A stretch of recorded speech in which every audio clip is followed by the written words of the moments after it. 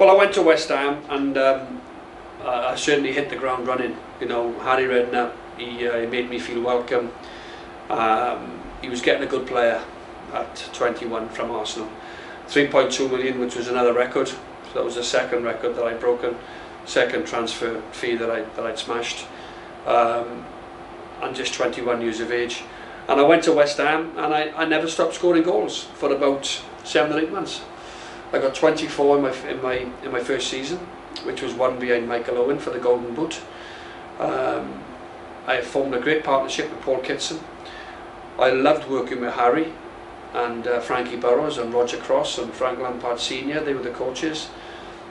Julian Dicks, Tim Breacker, uh, Stevie Potts, uh, Big Ludo Miklosko, Ian Bishop, John Moncur, uh, Stevie Lomas, you know, great lads, great players as well, young Frank, young Rio, young Joe Cole, Michael Carrick, they were all coming through.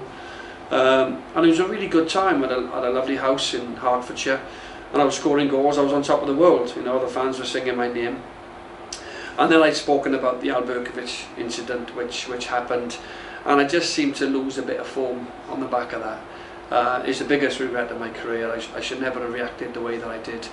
I cringe when I actually see it now. I look back on that incident and um, I'm reminded of it constantly. It's unfortunate that people want to remind you of the negatives and um, you know, but it, it's an incident that brought a lot of shame on my family down in Wales and, uh, and myself. I, I suffered the consequences for it.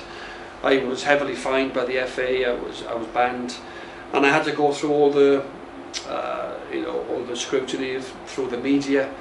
Uh, I had to leave the country at one stage because they were literally camped outside my house in Hertfordshire, um, knocking, up, knocking on my door and asking my wife, you know, a bunch of flowers, what's it like to live with a madman and all this sort of stuff. And I was, uh, you know, obviously um, everybody had their say. It was on news at 10, it was on every radio station, it was front page of every national newspaper. And I just felt when that happened, it was probably the, the, the beginning of the end for West Ham.